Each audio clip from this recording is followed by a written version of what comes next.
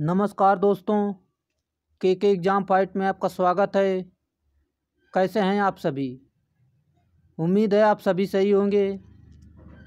चलिए दोस्तों, आज मैं एन एफ़ एल यानी नेशनल फर्टिलाइजर्स लिमिटेड से कुछ महत्वपूर्ण जानकारी लेकर आया हूँ, जो कि दोस्तों, इसकी नई वैकेंसी के बारे में है। दोस्तों, हम इस, इसमें बात करेंगे कि इसकी नई वैकेंसी कब तक आ सकती है। दोस्तों, वीडियो को पूरा ज़रूर देखें, तभी आपके समझ में आएगा कि इसकी नई भर्ती कब तक आने वाली है। जानकारी देने से पहले आपसे रिक्वेस्ट है, अगर आप चैनल पर नए हैं, चैनल को सब्सक्राइब ज़रूर कर लें और अपने दोस्तों में शेयर ज़रूर करें। अगर वीडियो अच्छा लगे, अगर जानकारी अच्छी लगे तो लाइक ज़रूर करें। क्योंकि दोस्तों, हम सभी तरह की भर्तियों के बारे में जानकारी लेकर आते रहते हैं, इसीलिए आप चैनल को सब्सक्राइब कर सकते हैं। चलिए दोस्तों बात करते हैं कि इसकी वैकेंसी कब तक आने वाली है। दोस्तों पिछली पिछली वैकेंसी का कुछ डाटा मैं आपको दिखाना चाहूँगा कि कब कब इसकी वैकेंसी आई थी और आगे कब तक आने की मतलब आगे कब तक आ सकती है इसकी भर्ती।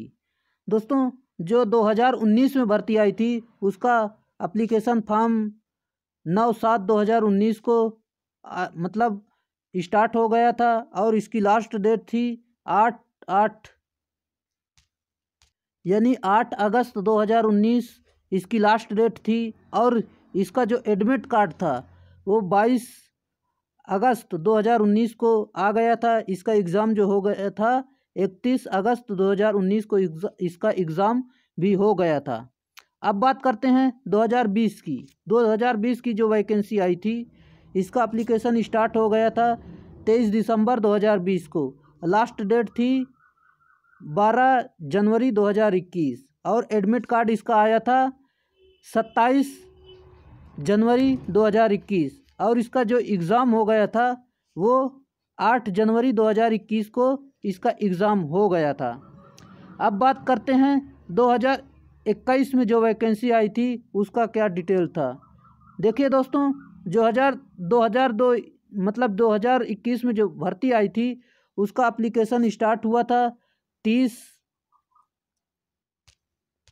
सितंबर 2021 को इसका एप्लीकेशन फॉर्म अप्लाई होना शुरू हो गया था। इसकी लास्ट डेट थी 21 दस 2021 यानी अक्टूबर 21 अक्टूबर 2021 और एडमिट कार्ड इसका आ गया था 13 दिसंबर 2021 को। इसका जो एग्ज़ाम हुआ वो 16 दिसंबर से लेकर 19 दिसंबर के बीच इसका एग्ज़ाम हो गया था। जो कि दोस्तों, इस समय ये वर्तमान में वैकेंसी चल रही है, इसका स्किल टेस्ट हो गया है, डॉक्यूमेंट्स वेरिफिकेशन भी हो गया है, फाइनल मेरिट लगने वाली है। अब बात करते हैं दोस्तों, इसकी नई वैकेंसी कब तक आ सकती ये सारे मतलब ये सारे डेटा के माध्यम से मैं आपको बताऊँगा कि इसकी कब वैकेंसी आने वाली है। पिछली डेटा के माध्यम से मैंने निष्कर्ष निकाला है कि इसकी वैकेंसी कब तक आ सकती है।